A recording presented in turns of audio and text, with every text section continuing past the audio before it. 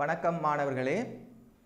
தரம் பதினொன்று கல்வி பொது தராதர சாதாரணதர பரீட்சையின் அழகு ரெண்டு ஒளித்தொகுப்பு பாடம் நாங்கள் இன்றைக்கி படிக்கிறோம். விஞ்ஞான பாடத்தின் ஒளித்தொகுப்பு.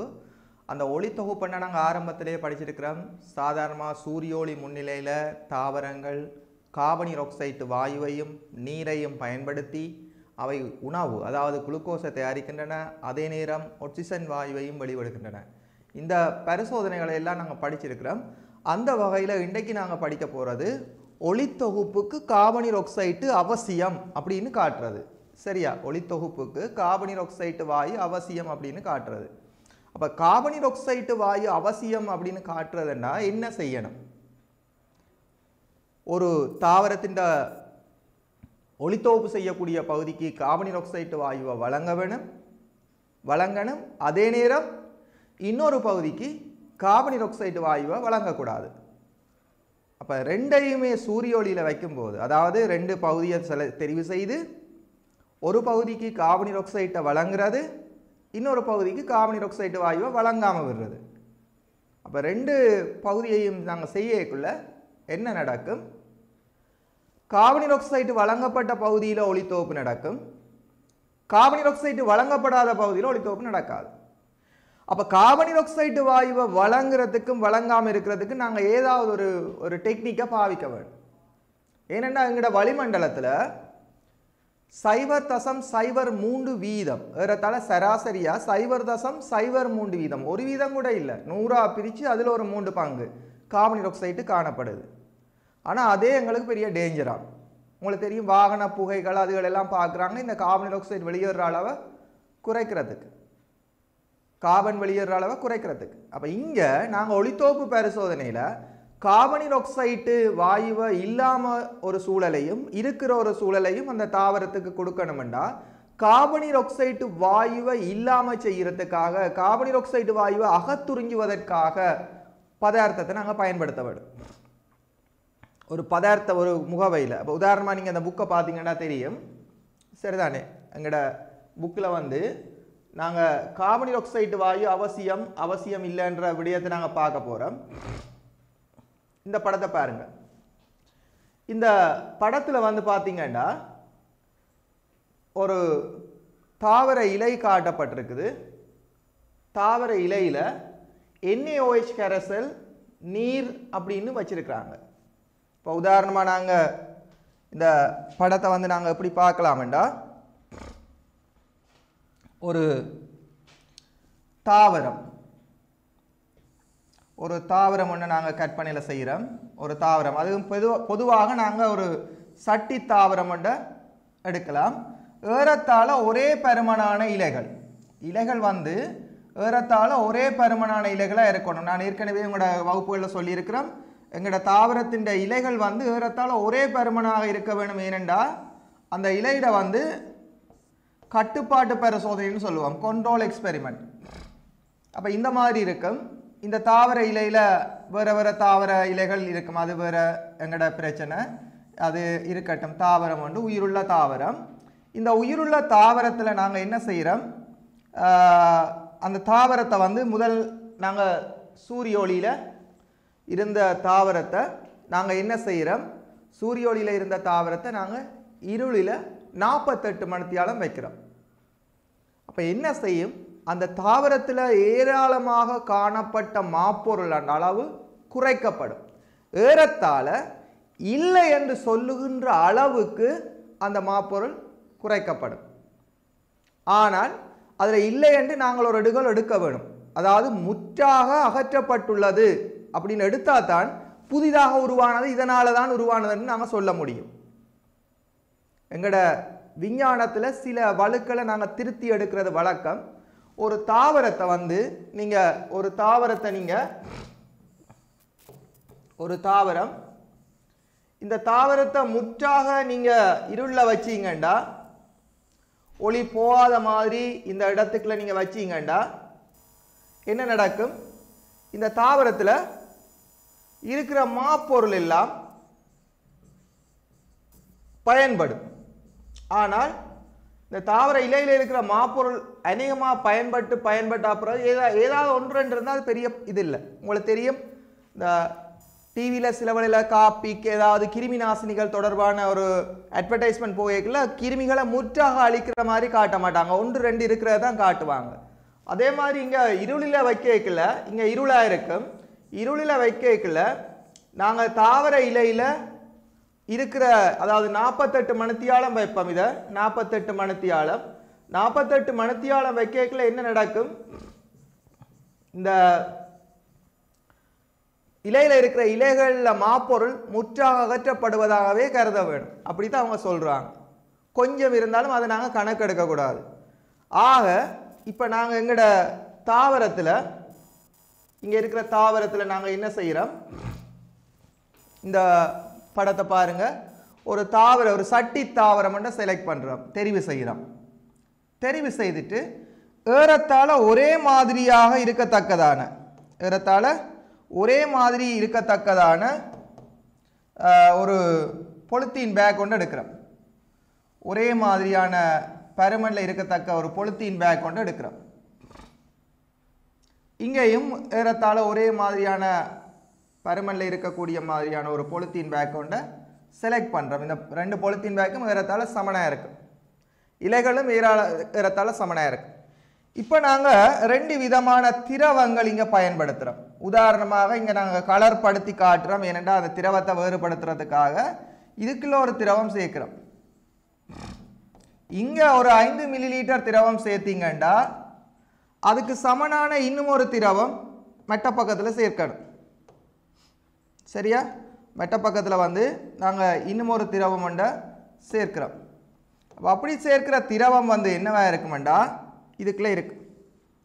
கிட்டத்தட்ட அந்த ரெண்டு திரவத்திட்டையும் கன அளவு சமனாக இருக்கு. அப்போ நாங்கள் போடலாம் அம்புக்குறி போட்டோம்னு சொன்னால் இந்த குறியீடுகளை பிரச்சனை இல்லாமல் போட்டோம்டா இது வந்து பொழுத்தீன் இந்த பொழுத்தீன் வந்து ஒளி போகக்கூடியதாக இருக்க வேணும். பொழுத்தீன் பேக். பொழுத்தீன் பை என்னும் சொல்லலாம். பொழுத்தீன் பை. சரியா? அடுத்தது இங்கேயும் வந்து அதே மாதிரி பொலித்தீன் பை. பொழுத்தீன் பையை யூஸ் பண்ணுவோம். அதாவது பொழுத்தீன் வந்து ஒளி போகக்கூடியதாக இருக்க வேணும். அடுத்ததாக இந்த இது வந்து தாவர இலை. தாவர இலை. தாவர இலையை யூஸ் பண்ணுறோம் இங்கேயும் தாவர இலை இருக்கும். அதே நேரம் மெட்ட பக்கத்துலேயும் தாவர இலை இருக்கும். அது இருக்கத்தான் வேணும். ஏண்டா பரிசோதனைக்குரிய முக்கிய ஆக்களே அவங்க தான் சரி அப்போ தாவர இலையை யூஸ் பண்ணுவோம்.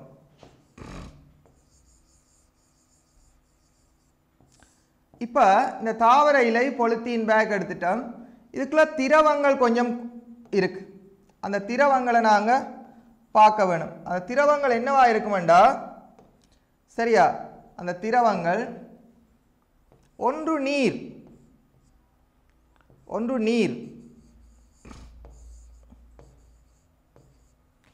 மற்றது உங்களுக்கு தெரியுமா? மற்றது வந்து? Sodium hydroxide. Sodium hydroxide. Sodium hydroxide கெரசல் கெரசல். சோடியம் ஐதராக்சைட்டு கரைசல். இதை வந்து நாங்கள் எப்படி சொல்லுவோம்டா என்ஏஓஹெச்னு சொல்லுவோம். Capital N small O A capital O H இதை கெரசல் அப்படின்றபடினால ஏக்யூ அப்படின்னு சொல்லுவோம். அக்வஸ் இங்கே சோடியம் ஐதரோக்சைட்டு பயன்படுத்துறதுக்கு காரணம் சோடியம் ஐதராக்சைட்டு பயன்படுத்துறதுக்கு காரணம் இந்த சோடியம் ஐதராக்சைட்டு இது என்ன செய்யுமெண்டா? CO2 வாயுவை CO2 வாயுவை CO2 வாயுவை அகத்துறிஞ்சும். எது? Na2 வந்து CO2 வாயுவை அகத்துறிஞ்சும். அப்போ அந்த பொலித்தீன் பேக்குக்குள்ள காணப்படுற அந்த கார்பனி ஆக்சைடு வாயுவை இது என்ன செய்யும்? அகத்துறிஞ்சும். எது? சோடியம் ஹைட்ரோக்சைட்டு கெரசல் வந்து கார்பனி ஆக்சைடு வாயுவாக அகத்துறிஞ்சும் ஆனால் நீர் அவ்வாறு இல்லை. அப்படி என்ன? ஏன் நீரை சேர்த்தாங்க? ஏன் நீரை சேர்த்தாங்க? உண்மையில் சம கன அளவு பொலித்தீன். சே பொழுத்தீனுடைய கன அளவை பார்த்தீங்கன்னா சும்மா ஒரு கதைக்கு சொல்லுவோம். பொழுத்தீனின் கன அளவு. பொலித்தீனின் கன அளவு. பொலித்தீன் கனளவு வந்து பார்த்தீங்கன்னா என்னவா இருக்கும்? பொலித்தீன் கனளவு சும்மா நாங்கள் ஒரு கதைக்கு சொல்லுவோம் ஒரு லிட்டர் உள்ளுக்குள்ளே ஒரு லிட்டர் உள்ள ஒரு பொலித்தீன் இருக்குதுன்னு வைப்போம். அதனுடைய லிட்டர் வந்து ஒரு லிட்டர் சரி? அது வந்து ஒரு லிட்டருக்குரிய பேக் சரி இப்போ ரெண்டு பக்கம் ஒரு லிட்டருக்குரியது திரவங்களின் கன அளவு திரவம் சொல்லிக்கல திரவம் என்று சொல்லிக்கல திரவம் என்ஓஹெச் NaOH கன அளவு வந்து பார்த்தீங்கன்னா வந்து சும்மா சொல்லுவோம் ஒரு பத்து மில்லி லீட்டர் சும்மா ஒரு கதைக்கு போய்ப்போமா இது ஒரு கட்டாயம் இல்லை. நீரின் கன அளவு ஏன் இது நாங்கள் சொல்கிறோம்டா சும்மா ஒரு கதைக்கு சொல்கிறோம் நீரின் கன அளவு நீரிட வோல் இது வந்து பத்து மில்லி லீட்டர் பாருங்கள் ரெண்டு பொழுத்தீனும் வந்து ஒரு ஒரு லிட்டர் திரவம் இது. இலையின் பருமன் ரெண்டுமே சமன். இலையின் பருமன் மற்ற இலையின் பருமனையும் பார்த்தீங்கன்னா இலையின் பருமன். இலையின் பருமன் ரெண்டுக்குமே சமனாக இருக்கு. ஏறத்தாழ சமனாக இருக்கு. அது நாங்கள் அன்னளவாகவும் சொல்லலாம். அன்னளவாக சமனாக இருக்கு. இப்போ இதெல்லாம் ஏன் நாங்கள் செய்கிறோம் அப்படின்னு பார்த்தீங்கன்னா இதன் நோக்கம் கட்டுப்பாட்டு பரிசோதனை. எங்களுக்கு சொல்லத்த கட்டுப்பா கனளவிங்க பெருசாக பாதிக்கல. கட்டுப்பாட்டு பரிசோதனை. கட்டுப்பாட்டு பரிசோதனை. அப்போ எங்களுக்கு தெரியும் ஏன் நாங்கள் இந்த பரிசோதனையில் வந்து சமனான விடயங்களை கருதுறோம் அப்படின்னு சொன்னால் எங்களோட பரிசோதனையில் கட்டுப்பாட்டு பரிசோதனைக்காகத்தான் இது செய்கிறோம் இப்போ இதெல்லாம் கட்டாயமான கனளவு இந்த கனளவு வந்து கட்டாயம் இப்படி தான் இருக்கணும்னு இல்லை. ஆனால் எங்களோட நோக்கம் சமனாக இருக்குதுன்றதான் அர்த்தம். சரியா? அப்போ ஏன் நாங்கள் இந்த இடத்துல வந்து இந்த இந்த விடயத்தை கவனிக்கிறோம்னு சொன்னால் சரியா? ஏன் நாங்கள் இந்த விடயத்தை கவனிக்கிறோம்னு சொன்னால் உங்களுக்கு தெரிய வேணும். சரியா? கட்டுப்பாட்டு பரிசோதனைக்காகத்தான் இந்த விடயங்களை எல்லாம் ஒரே மாதிரி பயன்படுத்துகிறோம் சரியா? இந்த விடயங்களை ஒரே மாதிரி பயன்படுத்துறதுக்கு காரணம் கட்டுப்பாட்டு பரிசோதனைக்காக. சரி. இப்போ நாங்கள் இந்த விடயங்களை வெளியில் போடுவோம். அதாவது என்ன? விடயத்துக்கு வருவோம் நீரும் சோடியம் ஹைட்ராக்சைட்டும் இருக்கு. ஏன் நீரும் சோடியம் ஹைட்ராக்சைட்டும் இருக்குது? நீரும் சோடியம் ஹைட்ராக்சைட்டும் சேர்க்கறதுக்கு காரணம் சம கன அளவில் நீரை சேர்க்க வேணும் சோடியம் ஹைட்ராக்சைடு எவ்வளவு சேர்க்குறீங்களோ அதே அளவு நீங்கள் என்ன செய்ய வேண்டியிருக்கும்? நீரையும் சேர்க்க வேண்டியிருக்கும். இப்போ சே ஒரு பத்து மில்லி லிட்டர் சோடியம் ஹைட்ராக்சைடு எடுத்தீங்கன்னா நீங்கள் பத்து மில்லி லிட்டர் நீர் எடுக்க வேணும் அதான் நாங்கள் முக்கியம். கட்டாயம் நீர் அதுக்குள்ள விடணுமென்று தேவை இருக்குது காரணம் என்னென்னா நீங்கள் பத்து மில்லி லிட்டர் எடுத்தீங்கன்னா அங்காலையும் பத்து மில்லி லிட்டர் எடுக்கணும். சமகன அளவு இருக்கணும். அதுக்காக தான் நீங்கள் நீர் போடுறாங்க. அப்போ இப்போ எங்களுக்கு தெரியும் நீர் போடப்படுறதுன்ற நோக்கம் தெரியும். சரியா? நீர் என்றது ஏன் இடப்படுது? அதுக்கு சமனான கன உள்ள சோடியம் ஆக்சைடு ஏன் இடப்படுதுன்னு தெரியும். இப்போ எங்களுக்கு தெரியும் இதுக்குள்ள சிஓடி இருக்காது. உதாரணமாக இந்த தொகுதியை நாங்கள் ஏண்டும் இதை பி எண்ணும் பீக்கில் பிக்குள்ள சிஓடி இருக்காது. ஏன்? சோடியம் ஹைட்ராக்சைடு உறிஞ்சிடும் சரியா? இப்போ எங்களோட விடயத்துக்கு வருவோம். இந்த பரிசோதனையோட நோக்கத்துக்கு வருவோம். இந்த முதல்ல இந்த தாவரத்தை பரிசோதனை செய்ய முதல் நாற்பத்தெட்டு மணத்தியாலம் வைக்கிறோம். எங்க? இருபது இருளில் வைக்கிறோம். ஏன் இருளில் வைக்கிறோம்? இந்த தாவரத்தில் மாப்பொருளை இல்லாமல் செய்கிறதுக்கு இந்த மாப்பொருளை ஏறத்தாழ முற்றாக இல்லாமல் செய்கிறதுக்காக என்ன செய்கிறோம் நாற்பத்தெட்டு மணத்தியாலம் வைக்கிறோம். சரியா? கிட்டத்தட்ட இரண்டு நாட்கள். பிறகு என்ன செய்கிறோம் ரெண்டு பொலித்தீன் பேக் எடுத்து ஒரு ரெண்டு இலைகளை தெரிவு செய்து அந்த இலைகளை பொலித்தீன் பேக்கினால் கட்டி சம கனல உள்ள பொலித்தீன் பேக்கால் கட்டி சம கனல உள்ள திரவங்கள் முறையே சோடியம் ஹைட்ராக்சைட்டையும் நீரையும் அதுக்குள்ள வைக்கிறோம். அப்ப சோடியம் ஹைட்ராக்சைடு வைக்கப்பட்ட அந்த பி என்ற அந்த பரிசோதனை பொலித்தீன் பேக்கில் வந்து பார்த்தீங்கன்னா சிஓடி இருக்காது. சிஓடி இல்லை. இங்க சிஓடி இருக்கும். இங்க வந்து சிஓடி இருக்கும். CO2 வாயு இங்கே இருக்கும். ஆனா இங்க CO2 வாயு இருக்காது. ஏன் இருக்காது? சோடியம் ஹைட்ராக்சைடு எல்லாத்தையுமே அகத்துறிஞ்சிடும்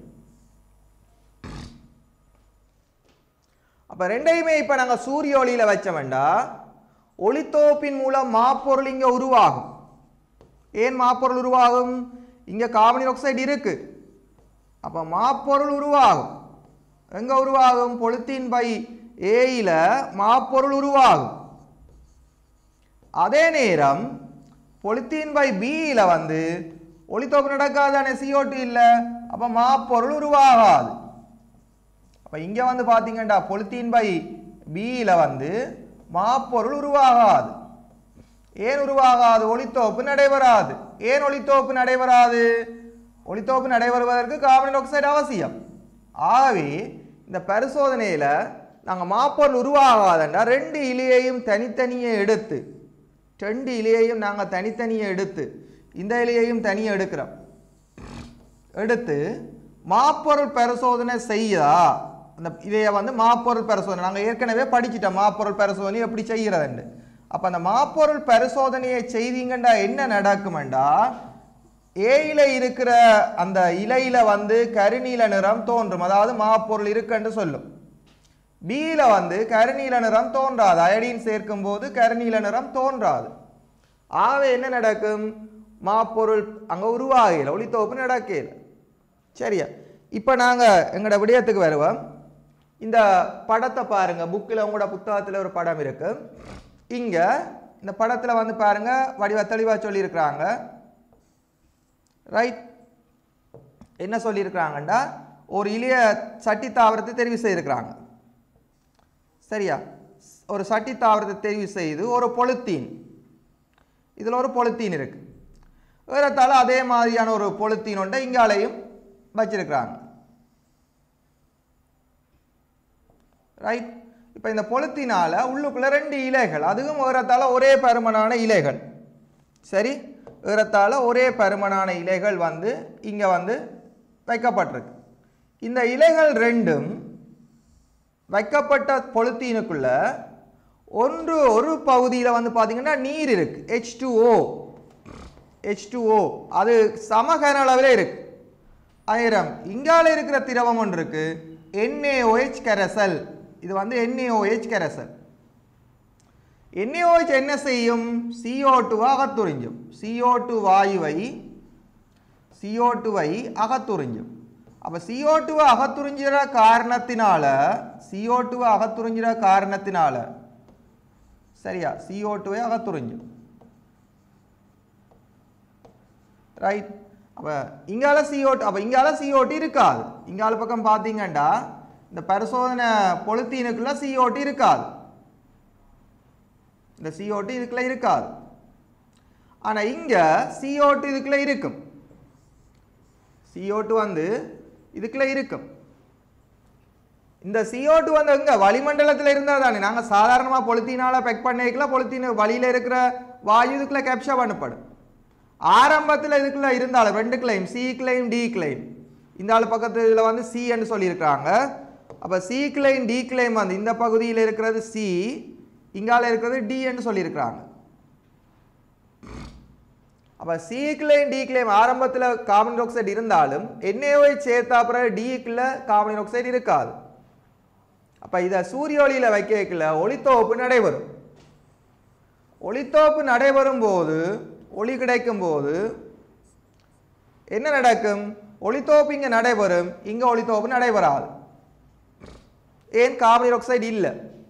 அப்போ இதுலேருந்து நாங்கள் ஒரு முடிவுக்கு வரலாம் என்ன? ஒளித்தோப்புக்கு கார்பன் ஆக்சைடு அவசியம். இங்கே பாருங்க இந்த படத்தில் ஒளித்தோப்பு செய்முறைக்கு கார்பன் ஆக்சைடு அவசியம் என காட்டுதல். இதான் எங்களுடைய நோக்கம்.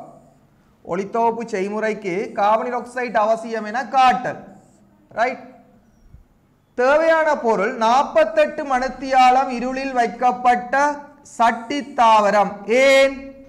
மாப்பொருளை முற்றாக அகற்றப்பட்டது. அதாவது ஏறத்தாழ முற்றாக அகற்றப்பட்ட நிலைக்கு கொண்டு வருவதற்காக நாற்பத்தெட்டு மணத்தியாலங்கள் இருள வைக்கப்பட்டது. அந்த தாவரம் தேவை. அதான் அந்த சட்டி தாவரம் சி- ஒரு முறை பாஸ் பேப்பரில் கேட்டிருந்தவங்க பிள்ளைகள் ஒரு முறை பாஸ் பேப்பரில் கேட்டிருந்தவங்க உங்களுக்கு தெரியும். உங்களுக்கு தெரியும் நாங்கள் படிக்கிறது டெஸ்ட்டோட சேர்ந்து வரவன் சரிதானே? இப்போ என்ன பார்த்தீங்கன்னா உங்களுக்கு விளங்கும். சரியா? அதாவது மாப்பொருள் பரிசோதனையில் வந்து இந்த இதில் வந்து அவங்க கேட்டிருந்தவங்க என்னண்டா? சரியா இவங்க இதில் கேட்டிருந்தவங்க சட்டி தாவரத்தை பயன்படுத்துவதன் நோக்கம் யாது அங்கே கையாள்வது இலகு ஒரு வசனம் பெறவன் ஏறத்தாழ ஒரே பருமனான பொலித்தீன் பைகள் பயன்படுத்தப்படுவதன் நோக்கம் யாது கட்டுப்பாட்டு பரிசோதனை. ஒரே கனளவுள்ள திரவங்கள் பயன்படுத்தப்பட வேண்டும். என்ன காரணம்? கட்டுப்பாட்டு பரிசோதனை. சோடியம் ஐதரோக்சைடு பயன்படுத்தப்படுவதன் நோக்கம் யாது சோடியம் ஐதரோக்சைடு எரிசோடா. அந்த என்ஏஓஹெச் என்று சொல்லுகின்ற அந்த கரைசல் பயன்படுத்தப்படுவதன் நோக்கம் யாது உங்களுக்கு தெரியும் கார்பன் ஆக்சைடு அகத்துறிஞ்சும் பழைய சிலபஸ்கள் எல்லாம் சிலவளை பார்த்தீங்கன்னா தெரியும் கேஓஹெச் பொட்டாசியம் ஐதரோக்சைட்டு பயன்படுத்துகிறவங்க அப்போ சில வேளையில் டெஸ்ட்டுக்கு கேட்கலாம் என்ஏஓஹெச்சுக்கு பதிலாக பயன்படுத்தக்கூடிய வேறு ஒரு கரைசலை தருக. அப்போ எங்களுக்கு விளங்கும். அமிலங்கள் காரங்கள் பாடங்கள் படிக்க நாங்கள் படிச்சிருக்கிறோம். கார்பனீர் ஆக்சைட்டை அகத்துறிஞ்சக்கூடியவை. எவை? ஐதரோக்சைட்டுகள். Sodium hydroxide potassium hydroxide calcium hydroxide நீங்கள் சில வழியில் வெள்ளை அடிக்கல வீட்டில் பார்த்துருப்பீங்க. வீடுகளில் வந்து வெள்ளை அடிக்கல வெள்ளை சுண்ணாம்பு அடிக்கக்குள்ள முதல்ல ஆரம்பத்தில் வெள்ளையாக தெரியாது. கொஞ்சம் லேட்டாக லேட்டாக தான் வெள்ளை கலர் வந்து கொண்டே இருக்கும்.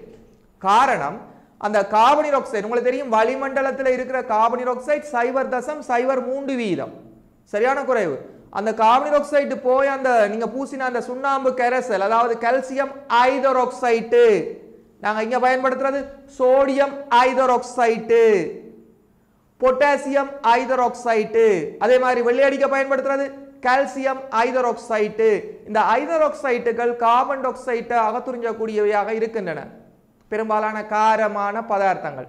அப்போ நாங்கள் எண்ணெய் ஒய்ச்சிக்கு பதிலாக பயன்படுத்தக்கூடிய வேறு ஒரு சேர்வையை தருகான்னு கேட்டால் பொட்டாசியம் ஹைதரோக்சைட்டும் பயன்படுத்தலாம். கால்சியம் ஹைதரோக்சைட்டும் பயன்படுத்தலாம். ஆனால் சரியான என்ன கஷ்டம்? உங்களுக்கு தெரியும் ஒரு தெளிந்த சுண்ணாம்பு நீரை பால் நிறமாக்குவது கார்பனீர் ஆக்சைடு வாயு.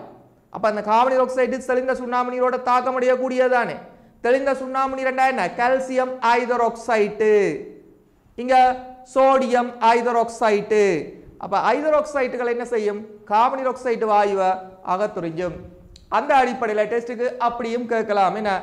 எண்ணெய் ஓய்ச்சிற்கு பதிலாக பயன்படுத்தக்கூடிய இன்னொரு சேர்வை தருக. அடுத்த கேள்வி கேட்கலாம். ஏன் சம கன அளவு நீரும் சம கன அளவு NaOH-ம் பயன்படுத்தப்பட்டது. கட்டுப்பாட்டு பரிசோதனை. அதாவது அதனுடைய கனவளவுகள் ஒளித்தோப்பு பரிசோதனைக்குள் பாதிப்பை ஏற்படுத்தக்கூடாது. ஏன்? எங்களுடைய நோக்கம் ஒளித்தொகுப்பிற்கு கார்பனீர் ஆக்சைடு அவசியம் என்றதை பார்க்கறதுக்கு. ரைட் அப்ப கேள்விகள் எப்படி வருமென்றதான் இங்க நாங்க படிக்க வேணும். விளங்குறது வேற எக்ஸாமுக்கு விடிய எழுதுறதுன்றது வேற. மாப்பொருள் பரிசோதனைக்கு தேவையான பொருட்கள் இரண்டு பொலித்தீன் உரைகள். அதாவது மாப்பொருள் பரிசோதனைக்கு தேவையான பொருட்கள் தேவை. இந்த பாருங்க பிள்ளைகள் இப்போ ஒரு மாணவன் மேற்படி பரிசோதனைக்காக பின்வரும் பொருட்களை சேகரித்தான். அன்னிட்டு இந்த பந்தியை தாராங்க. இந்த புக்கில் பார்த்தீங்கன்னா தெரியும். ஸ்க்ரீனில் நாற்பத்தெட்டு மணித்தியாலம் இருளில் வைக்கப்பட்ட சட்டி தாவரம் அப்போ கேட்கலாம் சட்டி தாவரம் வைக்கப்பட்டது நோக்கம் யாது? அடுத்தது மாப்பொருள் பரிசோதனைக்கு தேவையான பொருட்கள் அப்படின்னு சொல்லிட்டார். அப்ப நான் உங்களை கேட்கறது என்னண்டா? சில வேளையில அவங்க கேட்கலாம் மாப்பொருள் பரிசோதனைக்கு தேவையான பொருட்கள் எனும் பொழுது கருதப்படும் பொருட்கள் எவை? கருதப்படும் ரசாயன பொருள் எது? அப்படின்னு கேட்டா நீங்க சொல்ல வேணும் அயடின் கரைசல். அயடின் கரைசல் நாங்க இங்க தேவை. அதுவும் அயடின் கரைசல் என்று சொல்லும் பொழுது பிள்ளைகள் பொட்டாசியம் அயடின் கரைசல் தரலாம். பொட்டாசியம் அயடைட் என்று சொல்லுகின்றதை கரைச்சி தான் தருவாங்களா அயடின் கரைசல் என்று நாங்க பேச்சு வழக்கில் சொல்லுற கரைசல் தூய்மையான அயடின் அல்ல. தூய்மையான அயடின் வந்து என்ன செய்யும்? ஒரு பளிங்கு ஆவியாகக்கூடியது. அது சொல்றது பதங்கமாதல். அயடின் பளிங்க நீங்க வச்சீங்கன்னா கற்பூரம் அல்லது நெப்தலின் உருண்டை பூச்சி உருண்டை திண்மம் நேரடியாக ஆவியாகிறது. நாங்கள் சொல்றது பதங்கமாதல். அதே மாதிரி அயடியின் பளிங்கும் பதங்கமாக கூடியது ஆகவே அயடின் கெரசல் என்று நாங்கள் கருதுறது ஆய்வுக்கூடங்களில் பெரும்பாலும் பொட்டாசியம் அயடைட்டு கெரசல். ஆனாலும் நாங்கள் பேச்சு வழக்கில் இங்கே இங்கே எக்ஸாமுக்கு எழுதியிருக்க மாப்பொருள் பரிசோதனைக்கு அயடின் கெரசல் இடும் போதுன்னு சொல்லுவோம். அந்த அயடின் கேரசல் அயடின் கெரசல் சேர்க்கும் போது அல்லது அயடின் சேர்க்கும் போதுன்னு எழுதுவோம். சரியா? ப்ராக்டிக்கலாக எங்களுக்கு விளங்கணும் அது பொட்டாசியம் அயடைட்டு கெரசலாக இருக்கும். சரியா? ரைட் அப்போ பேப்பர் தேவையான பொருட்களில் வந்து உங்களுக்கு நீங்கள் வந்து என்ன தேவையான பொருள் கொஞ்சம் எடுத்து வச்சிருக்க வேணும். உங்களுக்கு தெரியும் மாப்பொருள் பரிசோதனை படி கேட்கல நாங்கள் படித்தோம் ஒரு பீக்கர் தேவை. ஒரு பரிசோதனை குழாய் தேவை. மதுசாரம் தேவை. நீருள்ள முகவை தேவை. முக்காலி தேவை. பன்சன் சூடரை சூடாக்குறதுக்கு மதுசார விளக்கு அல்லது அடுப்பு தேவை. அது எல்லாத்தையும் சுருக்கமாக என்ன சொல்லிட்டாரு? மாப்பொருள் பரிசோதனைக்கு தேவையான பொருட்கள் எடுங்க அப்படின்னு சொல்லிட்டாரு. ஏன்? அவருடைய நோக்கம் இங்கே மாப்பொருள் பரிசோதனையை விளங்கப்படுத்துறதில்லை. அவருடைய நோக்கம் கார்பன் ஆக்சைடு அவசியம் என்றது. ஆகவே ஷோட்டா எங்களை சொல்லிட்டார் தேவையான பொருட்கள் மாப்பொருள் பரிசோதனைக்கு தேவையான பொருட்கள். இரண்டு பொலித்தீன் உரைகள். உண்மையில் ஒளி புகக்கூடிய பொலித்தீன் உரைகளாக இருக்க வேண்டும். ஏன்னா எங்களுக்கு தெரியும் நாங்கள் ஏற்கனவே ஒளி அவசியம்னு பார்க்கல பொலித்தீனை கருப்பு தாள் கருப்பு பொலித்தீனும் இருக்கு. அது ஒளி புகக்கூடிய பொலித்தீன்டா இன்னும் கூட பெஸ்ட் என்ஏஓஹெச் கரைசல் சோடியம் ஹைட்ரோக்சைடு கரைசல் நிறமற்ற கரைசல் முதலாம் கூட்டத்தில் இருக்கிறது சோடியம் ஹைட்ரோக்சைடு நிறமற்ற கரைசல் காரம். ஹைட்ரோக்சைடு வந்தா காரம். பெரும்பாலான ஹைட்ரோக்சைட்டுகள் காரம். பேஸ் அந்த காரமான ஒரு கரைசல் தேவை. அடுத்தது நீர். செயற்பாடு. பயன்படுத்தப்பட்ட சட்டி தாவரத்தில் எல்லா விதத்திலும் மொத்த இரண்டு இலைகள் தெரிவு செய்க.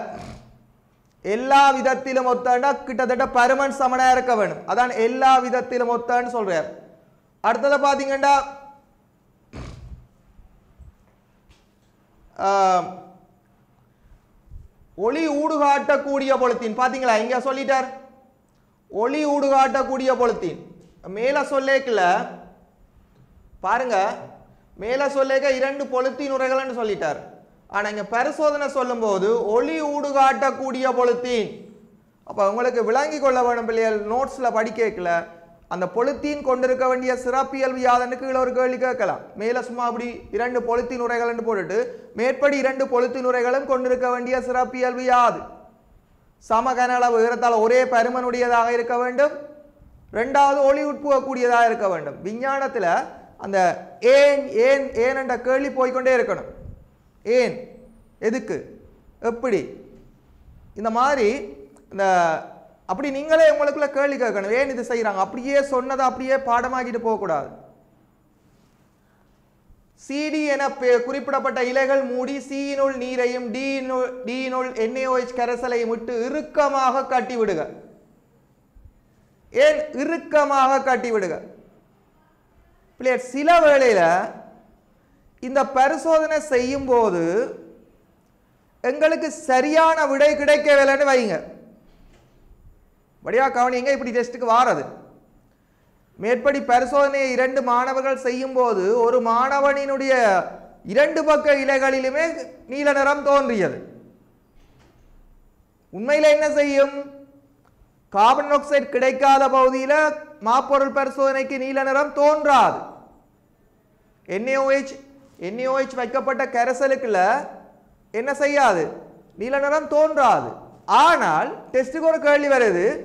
மேற்படி பரிசோதனையில் ரெண்டு பக்கம் உள்ள இலைகளிலும் மாப்பொருள் நிறம் தோன்றியது. மாப்பொருளுக்குரிய கருநீல நிறம் தோன்றியது.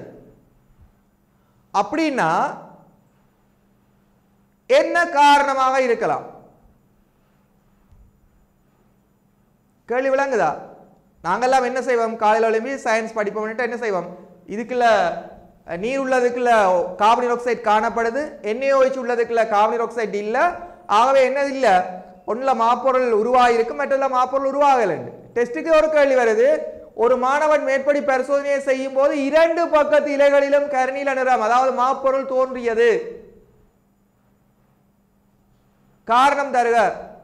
ஏற்படக்கூடிய என்ன என்ன வலு ஏற்பட்டிருக்கலாம். அண்டா இங்க இருக்கு விட. எங்க இருக்கு? விட இந்தா இருக்கு. புத்தகத்துல நடந்திருக்கிறார். புத்தகத்துல நடந்திருக்கார். பாருங்க இந்தா இறுக்கமாக கட்டி. இறுக்கமாக கட்டி விடுக.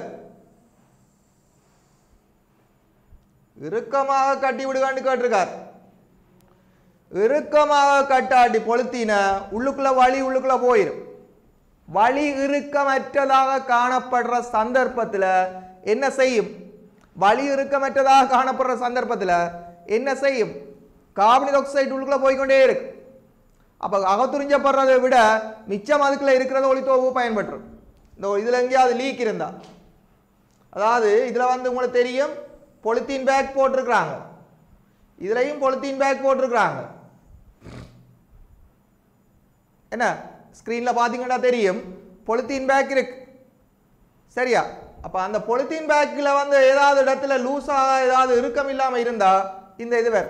பிள்ளை நான் இங்கே வந்து கிளாஸ் செய்கிறது வந்து புத்தகத்தில் இருக்கிறது மட்டும் இல்லை எக்ஸாமுக்கு அப்படியெல்லாம் வரலாம். எங்களுடைய அனுபவத்தில் நாங்கள் இவ்வளோ காலம் படிப்பிக்கிற அனுபவத்தில் இவ்வளோ பாஸ் பேப்பர் அதாவது கடந்த கால வினாக்களை பார்த்துருக்குறோம்.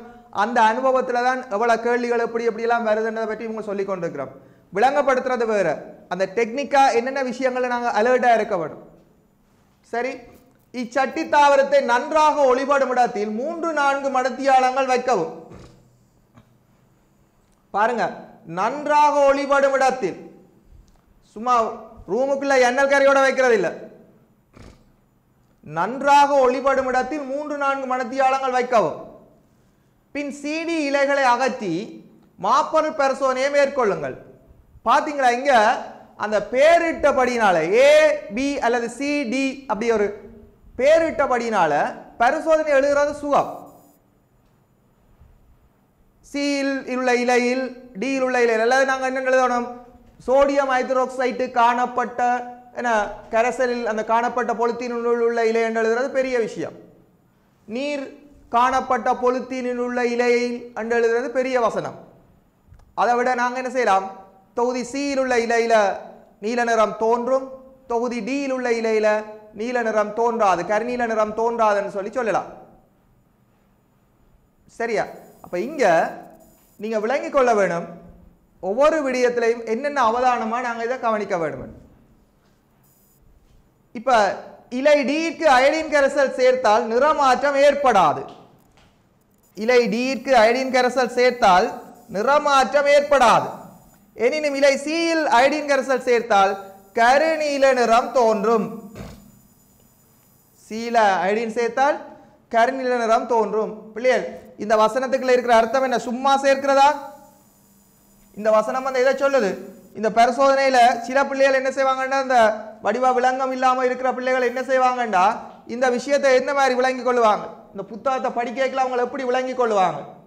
அவங்க என்ன நினைப்பாங்கண்டா இந்த கடைசி வசனத்தை கவனிங்க இந்த கடைசி வசனம் அதாவது படியா கவனிங்க இந்த கடைசி வசனத்தை கவனிங்க. என்ன சொல்றோம் இலை டீர்க்கு அயடின் கரைசல் சேர்த்தால் நீல நிறம் ஏற்படாது. இந்த இடம். இலை இந்த இடத்தை பார்த்தீங்கன்னா இலை டீர்க்கு அயடின் கரைசல் சேர்த்தால் நிறமாற்றம் ஏற்படாது. எனது விலை சீர்க்கு அயடின் கரைசல் சேர்த்தால் கரிநீல தோன்றும். பிள்ளைகள் இது டிரெக்டா இந்த இலையை எடுத்துட்டு வந்து சரியா? இந்த இலைய எடுத்துட்டு வந்து இந்த அயடின் கரைசலை இதுக்கு சேர்க்கிறது இல்லை இந்த இலையும் எடுத்துட்டு வந்து சில பிள்ளைகள் நினைப்பாங்க அவங்களை பா இந்த சில வழியில் ஸ்கூல்ஸில் தெளிவாக அவதானிக்காமல் இருந்தீங்கண்டா. டீச்சர் சொல்கிறது அவதானிக்காமல் இருந்தீங்கண்டா. சில சின்ன சின்ன விஷயம். ஆனால் அவங்களுக்கு என்ன செய்யும்? சில வேளையில விளக்கம் இல்லாமல் போயிடும் பாருங்கள் இதில் வந்து அயடின் கரசல் சேர்க்கிறார். இதுலையும் அயடின் கரைசல் இருக்கிறார்.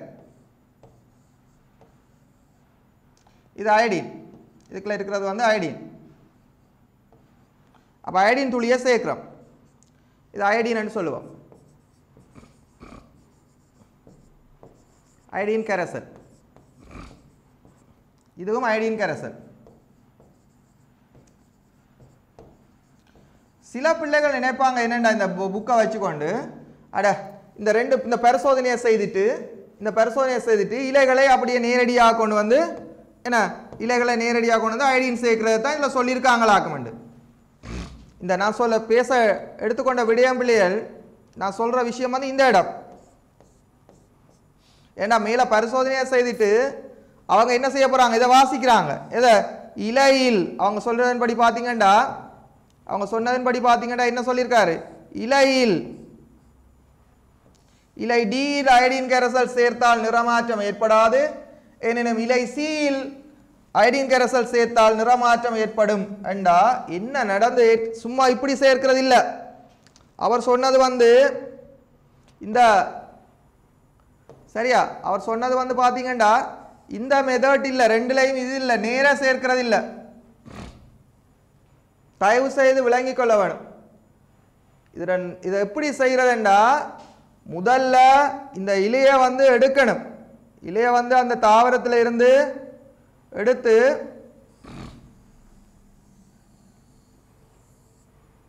சரியா? இந்த தாவரத்தில் இருந்து என்ன செய்யணும்டா? அந்த இலையை முதல் எடுக்கணும். எடுத்துட்டு அந்த இலையை எடுத்து நாங்கள் வளமையாக செய்கிற பரிசோதனை பிள்ளைகள் அதை முகவையில் வந்து அவிக்கணும். போன கிளாஸும் திரும்ப திரும்ப சொல்கிறேன் முகவையில் அவிக்கணும். அதுக்கப்புறம் அந்த முகவையில் ஒரு மதுசாரம் அடங்கின அந்த அதுக்குள்ள அந்த இலையை போட்டு நீருள்ள முகவைக்குள்ள வைத்து சரியா? நீருள்ள முகவைக்குள்ள வைத்து திருப்ப சூடாக்கணும். திரும்ப அந்த இலையை என்ன செய்யணும்? வெளியில் எடுக்கணும். இலையை எடுத்து அந்த இலையை ஓடும் நீரில் டேப் வாட்டரில் இல்லை தண்ணியை ஊற்றினாலும் தண்ணியை அதுக்கு மேலே ஓடும் நீரில் போட்டு அதை கழுவினா ஒரு வெளிர்ன இலை வரும். சரியா? ஒரு வெளிரின இலை வரும் அந்த வெளிரின நிலையில் இலை பச்சையம் இல்லாமல் இருக்கும் வெளிரிலை. அந்த வெளிரிய இலை வந்த உடனே அந்த இலைக்கு தான் பிள்ளைகள் என்ன செய்ய வேணும்? அயடின் சேர்க்க வேணும். ஆனால் இந்த பரிசோதனையில் டிரெக்டாகவே சொல்லியிருக்கிறார். என்னண்டு? அயடின் சேருங்கண்டு. ஆனால் பிள்ளைகளுக்கு விளங்க நாங்கள் ஏற்கனவே மாப்பொருள் பரிசோதனை படிச்சிருக்கிறோம். அதில் வர்ற அயடின் தான் சேர்க்க வேணும்.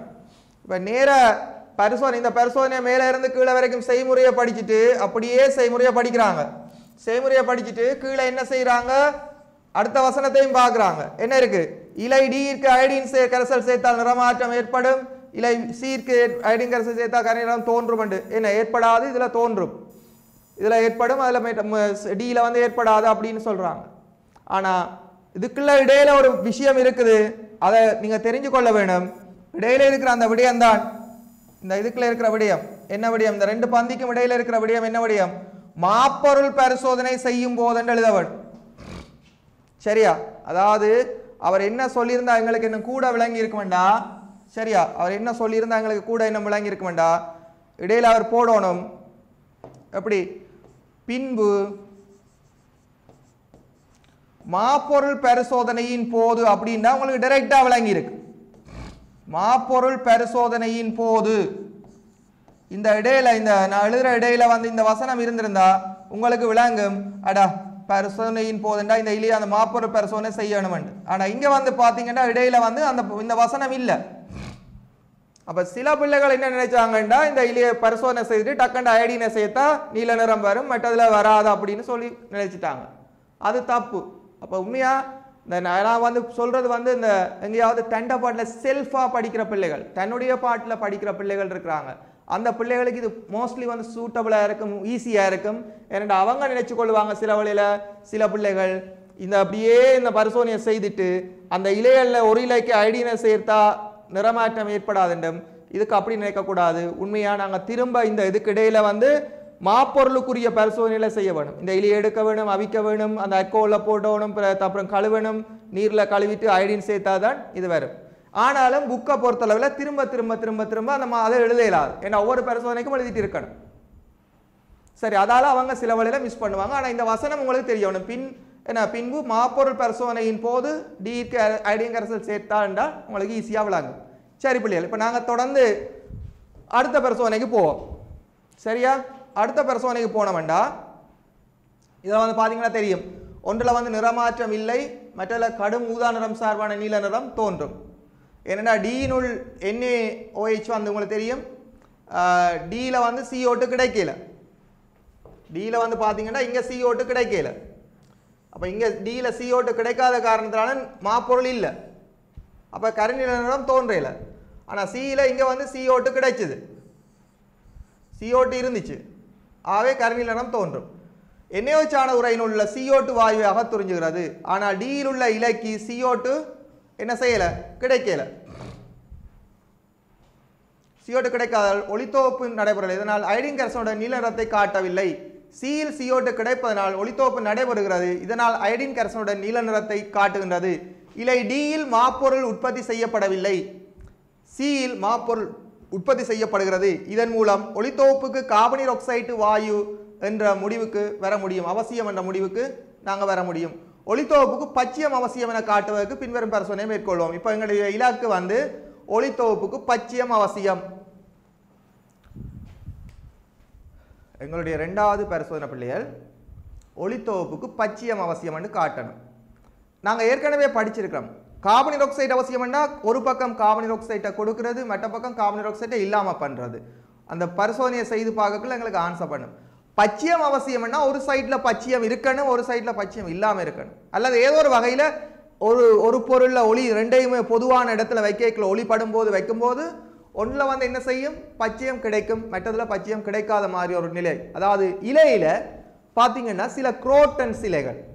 சில பல நிறம் உள்ள ஒரு இலைகளை எடுத்தீங்கன்னா பச்சை மட்டுமட்டாக இருக்கும். அதுகளை குறித்து கொள்வது ஒரு ஒரு டிஷ்யூ பேப்பரை என்ன சரி வச்சு அந்த பச்சையம் இருக்கிற பகுதிகளை குறித்து கொள்வது ஏனைய பகுதிகள் கலரானதான எல்லாம் ஏராளமாக காணப்படும்.